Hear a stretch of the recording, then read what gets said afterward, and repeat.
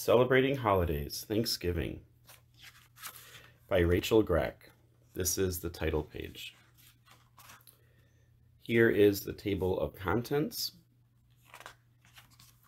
Corn and squash steam on the table. The cornucopia overflows with vegetables and fruits. Finally, the turkey is done roasting. Thanksgiving dinner is ready.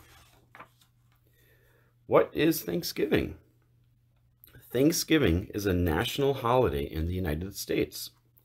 Families gather together to feast. They show thanks for what they have. Who celebrates Thanksgiving? Thanksgiving is mainly a United States holiday. Most Americans celebrate it. Canadians hold their own Thanksgiving. It happens in October. Thanksgiving beginnings. Thanksgiving came from a harvest celebration in 1621. It happened in the Plymouth colony of Massachusetts. Pilgrims and the Wampanoag people feasted together. The Wampanoag had helped the pilgrims grow crops.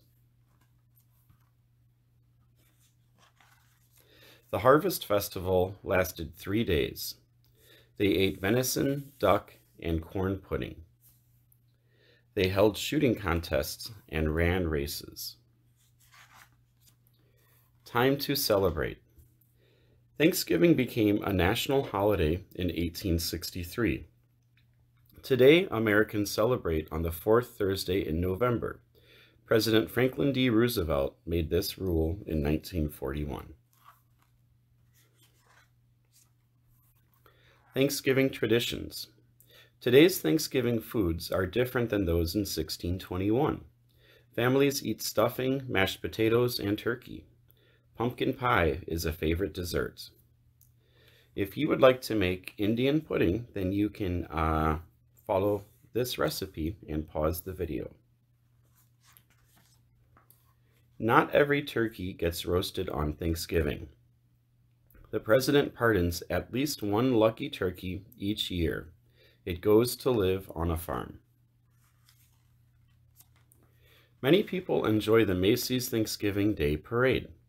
Huge balloons march in this New York parade. Families also watch football games on Thanksgiving. They are thankful to be together.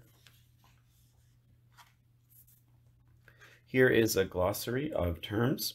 to learn more at the library or on the web, please pause the video here this is the index, the end.